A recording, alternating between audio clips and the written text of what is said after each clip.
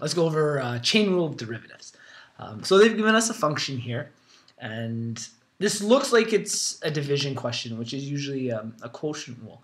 Um, but what happened here is there's really no exponent uh, in the numerator of the function. Okay, so what this means is I can kind of rewrite this, and it won't really change anything. What I'm going to do is I'm going to make this to the power of negative one, and whenever you do that, it's uh, you could say like flipping a fraction. Okay, so we'll kind of go over an exponent rule here just quickly. If I have um, a over b to the power of, let's say, x, I can invert that fraction by putting b over a to the negative of that exponent. So if I say negative x. So same idea here.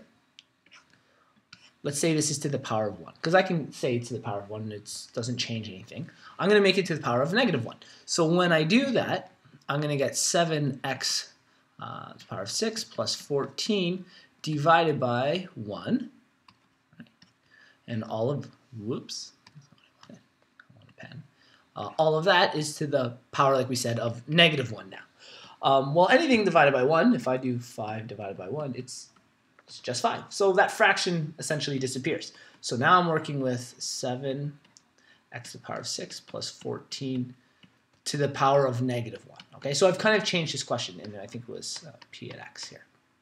Um, so now this is a chain rule, and a chain rule question, I'm going to just kind of write the uh, formula on the left here. f at x is equal to uh, g, uh, how do they write, g at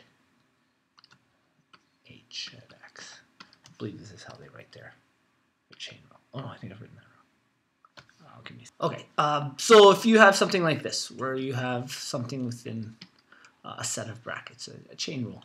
Uh, when we go to derive this, so the derivative of the whole function. So the whole function is called f at x. That's the name of the entire function. And this is what it consists of, which is like they've broken it into smaller functions. So if we were to derive the whole function, so f prime x, um, you would write it as g, and then write prime, yes. And we keep the original h at x, so whatever's inside of that bracket stays the exact same, nothing changes. And then we multiply by the derivative of what's inside the bracket, so times h prime x. There's a whole bunch of letters, which can be really confusing to look at, but let's try it with these numbers here. So the idea here is that this uh, power of negative 1 is like our, our g. This is what is the outside. And our 7x to the power of 6 plus 14 is our our h at x. So the first step to this, when we go to derive it, so when we derive something, we write p prime x. So I'm finding the derivative of this. I'm going to find a derivative of the outside first. So the inside, the h at x, is not going to change at all. Everything's going to stay the same for my first set. So I'll kind of highlight it so we can see that. Okay, so this will stay the same. And this is where our the relationship of our h at x. Um, the outside is very similar to um, when we're deriving just any term. We take the power and we bring it down in front, and then we subtract 1 from the power.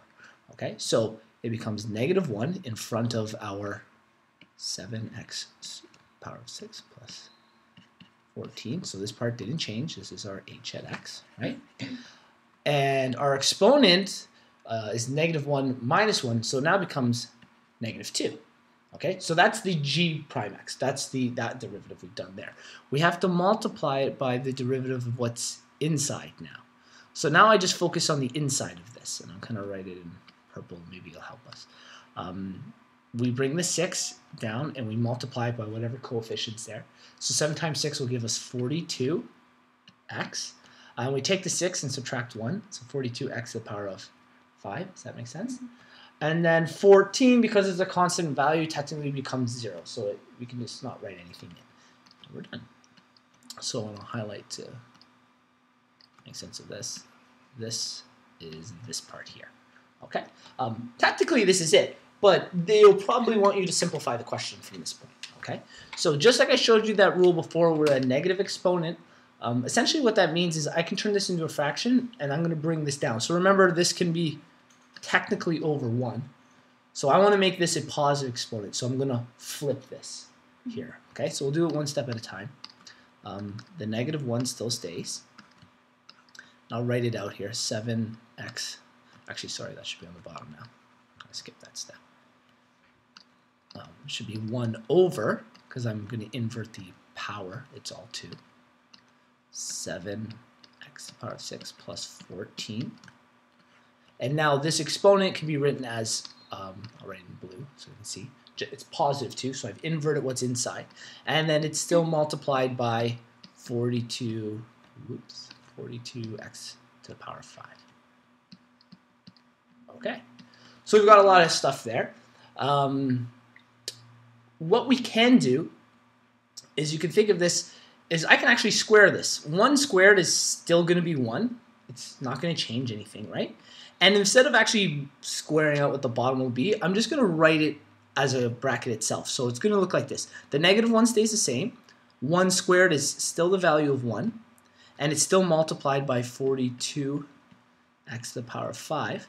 The only thing I'm going to do now okay, is I'm just going to write 7x squared plus 14 squared. So the difference in this step was, think of it like I brought this 2 into both of these. On top, which is the 1, I actually squared it. 1 squared is the value of 1. On the bottom, I didn't want to go through that FOIL process, that really long process of writing it, so I'm just going to write it simplified like this. So now on top, I just have three terms. I can actually multiply them across to simplify. So negative 1 times 1 is going to be negative 1, and then negative 1 times 42x to the power of 5 is going to just be negative 42x to the power of 5. So it's going to be equal to negative 42x to the power of 5 divided by and again, there's lots of stuff we could do at the bottom, but this is a pretty simplified version like this. We'll probably keep it like this in the